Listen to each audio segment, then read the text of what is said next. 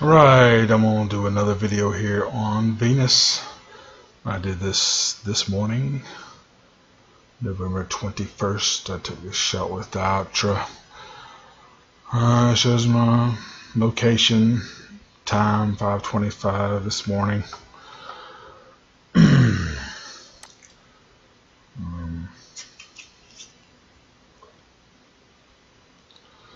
I use this app called uh, Skyview Free. I didn't get it lined up when I, when I took the picture, but you can point it at anything in the sky and it'll tell you what it is. It's a really neat app. And it's free. It's called Skyview Free. And that is Venus.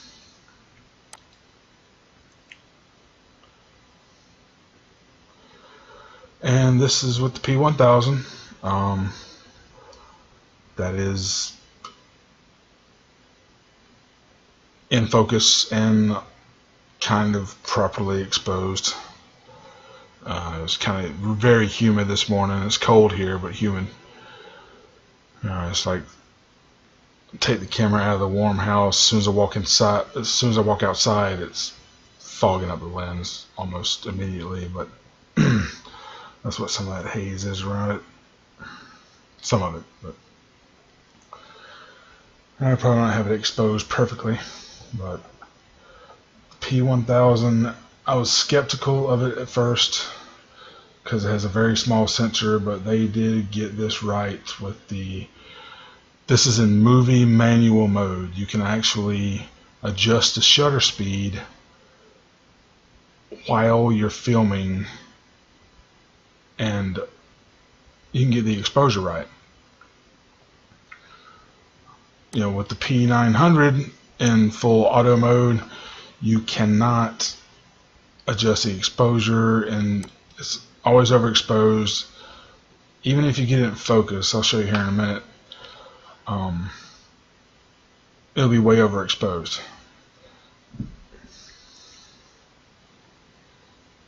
Okay, so this is this is decent. I could probably do better, but this is not bad.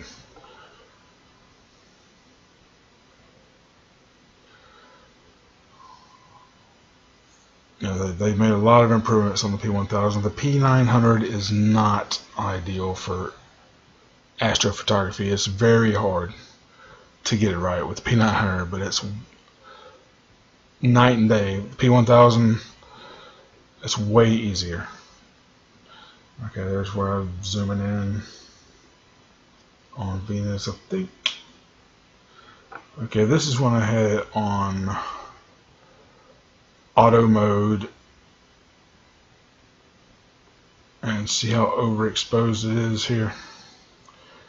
Yeah, this is what even in that's fairly in focus. I think I had it in manual focus still here, but I put it in auto mode so the exposure wasn't right. and get that way overexposed uh, view of it.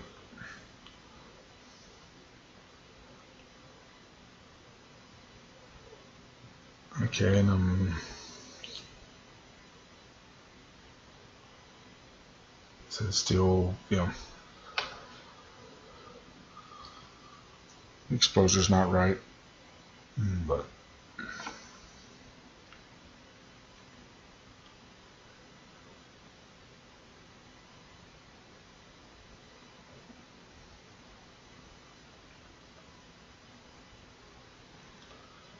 Okay, this is full auto mode. I put it back in autofocus and there you go. That's what happens. the P1000 does do a little bit better job at autofocus than the P900.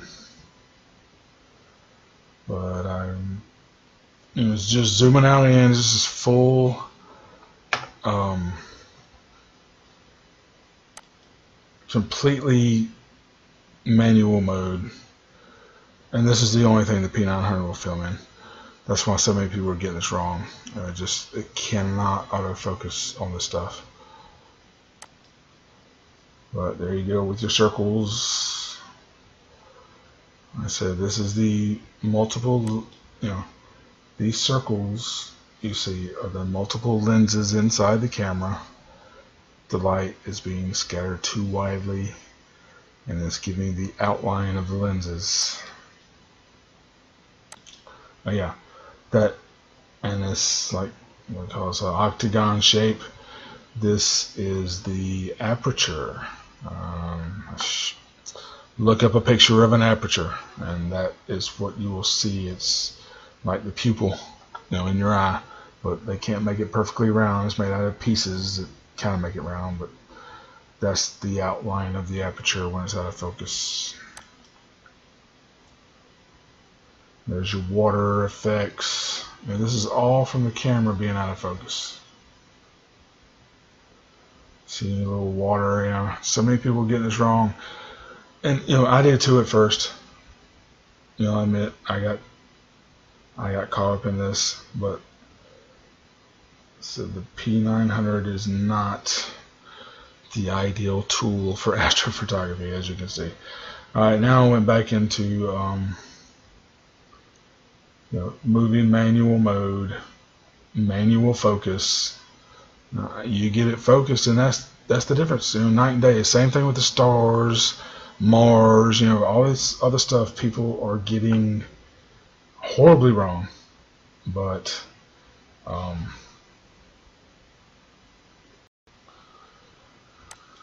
But like I say, yeah, a lot of people are making these mistakes. It's, it's okay. This is just a light in the sky. It looks, goes through phases just like the moon. You know, looks, I think it's just a tiny moon. I think it's very close.